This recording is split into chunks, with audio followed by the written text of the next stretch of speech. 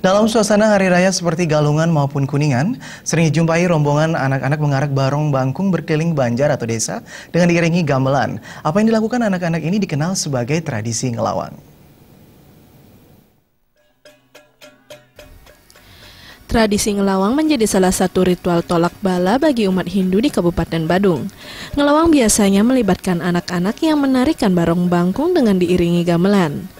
Ngelawang berasal dari kata lawang yang berarti pintu sesuai namanya. Anak-anak ini ngelawang dari rumah ke rumah.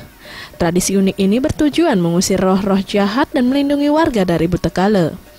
Pada akhir pementasan, warga biasanya memberikan uang sebagai haturan dan terima kasih kepada sekelompok anak-anak tersebut. Tiap hari apa aja ngelawang? Hari raya. Hari raya biasanya. Ke mana aja biasanya? Keliling. Di Banjaranyar. Iya. Berapa seke apa nih ada apa turun-turunnya pergi makan? Enggak, sekolah gini aja. Anak-anak, ya. Seneng gini ya ulun. Nah, Jam berapa mulai? jam 8 Sampai jam berapa gitu? sampai jam 5.